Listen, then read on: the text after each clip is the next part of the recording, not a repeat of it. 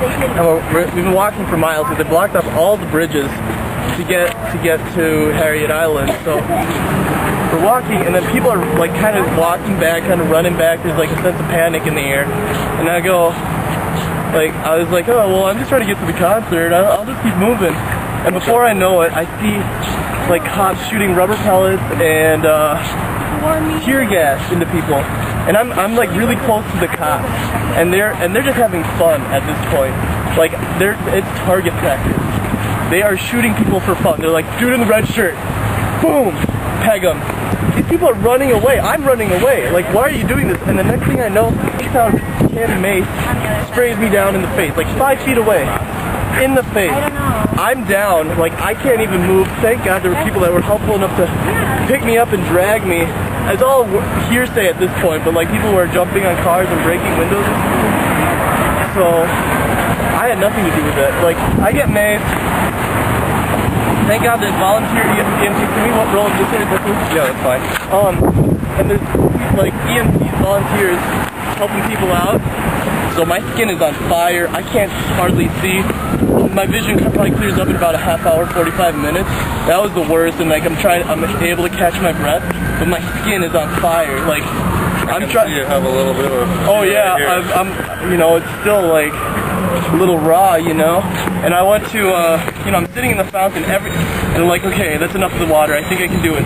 And I walk away for 30 seconds, and I'm like on fire. So I've just been like, I planted myself in that fountain for a good hour, you know. And then, but then when I'm in this fountain, I see like cops just like decked out in their riot gear, you know, and they're cornering us.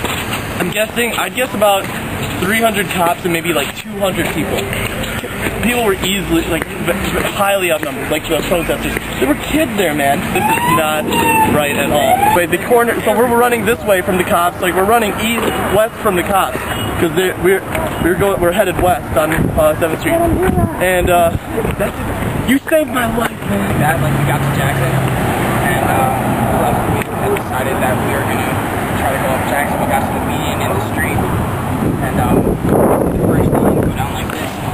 Boys getting ready to uh, get ready to shoot. Leaving, um, running away, and they were actually chasing us down the street, shooting tear gas and concussion grenades. Still into the crowd.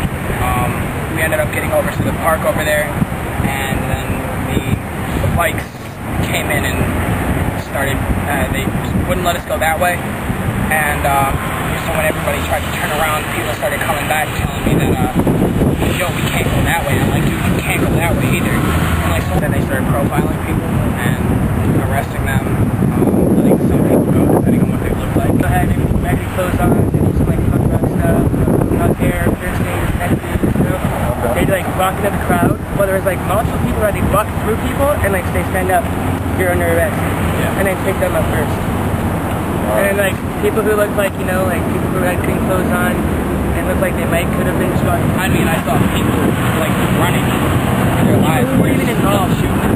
People who weren't even involved and just got like caught up in like the back wave, like sort of like the, you know, the, the march. People who were involved in the march started running, happened to catch up with the people who were bystanders and like what's going on.